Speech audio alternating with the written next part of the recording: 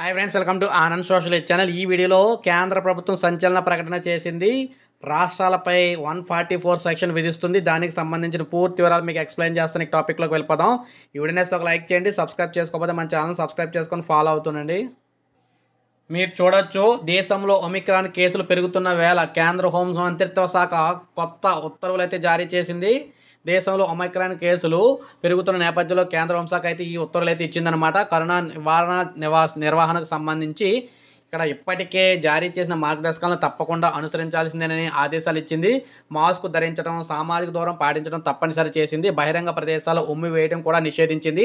ఈ ఆంక్షలను రెండు వేల ఇరవై రెండు జనవరి ముప్పై ఒకటో తేదీ వరకు కూడా అమలు చేయాలని చెప్పేసి కేంద్ర హోంశాఖ ఆదేశాలు అయితే జారీ చేసిందనమాట అవసరమైతే కేసుల పరిస్థితిని బట్టి ఆయా ప్రాంతాల్లో వన్ ఫార్టీ ఫోర్ సెక్షన్ కూడా విధించవచ్చునని ఉత్తర్వుల్లో జారీ చేసింది.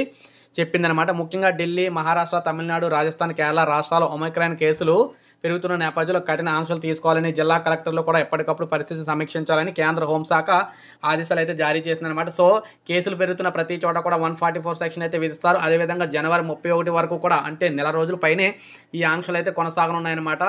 దేశంలోని కేంద్రం ఎలా అయితేనే షాక్ ఇచ్చిందనమాట రాష్ట్ర ప్రభుత్వాలకి. సో ఇది ఫ్రెండ్స్ ఈ వీడియో. ఇది నచ్చితే లైక్ చేయండి సబ్స్క్రైబ్ చేసుకోకపోతే మన ఛానల్ సబ్స్క్రైబ్ చేసుకోండి.